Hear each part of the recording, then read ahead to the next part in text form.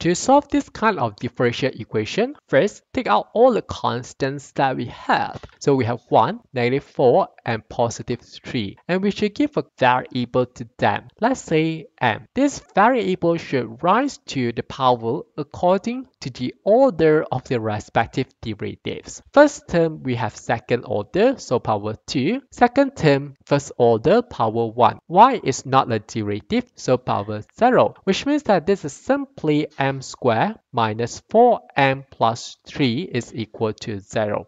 Let's factorize. We should have m minus 3 multiply m minus 1 is equal to 0. In other words, m equal to 3 and m equal to 1 are the roots. If you have two and distinct roots, the solution to this differential equation is y equal to c1 e to the power of 3x plus c2 e to the power x and hence we get